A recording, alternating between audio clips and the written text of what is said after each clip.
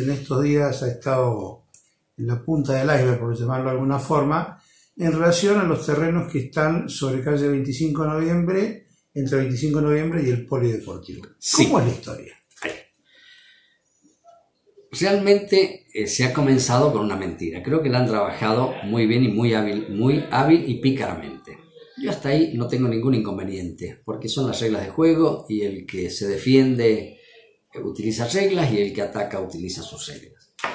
Pero se han utilizado mentiras, porque primero no se está eh, reivindicando las casas de adelante de la 25 de noviembre. No tiene nada que ver con las casas de la 25 de noviembre. Estos son lotes que pertenecían a otro lote más grande. La esquina de, 25 de noviembre y Pellegrini, esa era un terreno que tenía los lotes de atrás de estas casas. Los lotes vacíos. Y tengo prueba que en el 2006-2008 tengo pruebas hechas por ellos mismos, escrituras, escrituras notariales hechas por ellos mismos, donde consta, firmado por ellos, de que esas tierras estaban vacías. ¿Qué son? Son lotes, son lotes de 30 metros por 50, nada que ver con las casas. Cuando dice van a desalojar las casas son mentiras.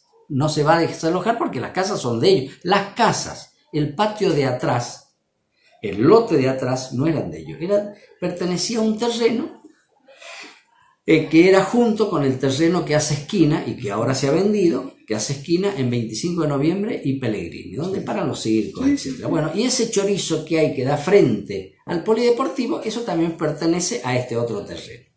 Bien, cuando compran terceras personas, me contratan porque en ese momento, hace pocos años, esta gente intenta intervertir el título. ¿Qué se llama esto jurídicamente? Simplemente intentan decir esto es mío.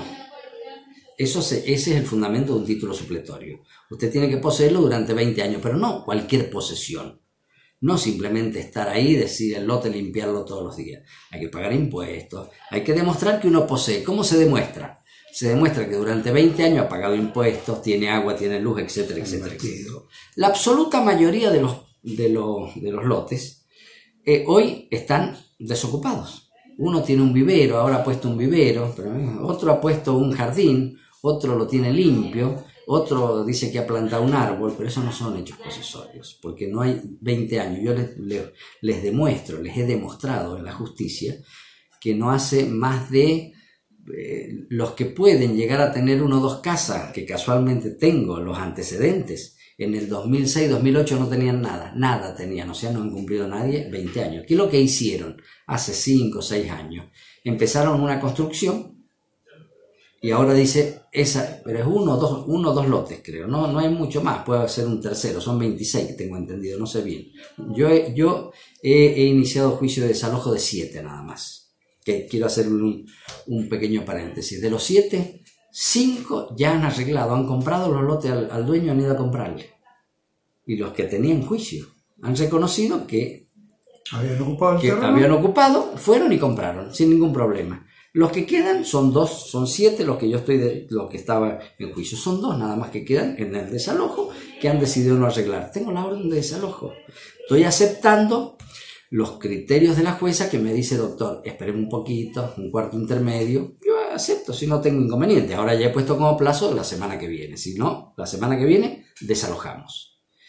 Eh, pero ¿me entiende qué es lo que es la mentira? Dicen, el problema es las casas, vamos a desalojar las casas. No, debe haber una o dos casas, pero ellos sabían hace, hace ya casi 10 años, 2006, eh, hace más de, 6, de, 10 años, que eh, el dueño los estaba reclamando quiere decir que era imposible que construyesen nada. Hay constancia de eso. No, no, hay escritura, hay escritura pública.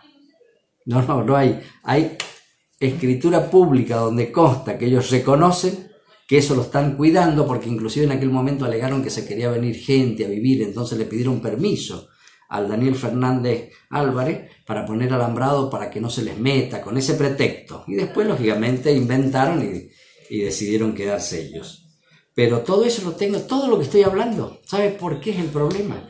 Están todos, los, están todos en los expedientes. Si lo mejor es leer el expediente, Pues si no es fácil hacer, decir, me están desalojando, pongo un niño, me van a quedar en la calle. Mentira. Porque primero, no desalojamos casas, las casas están allá. Los que han construido, creo que es uno o dos, pero ellos sabían que esos terrenos no eran de ellos. Y el, y el dueño se los estaba reclamando. Bueno, hoy se los reclama judicialmente. Lógicamente van a tener que desocupar, les guste o no les guste, salvo que arreglen.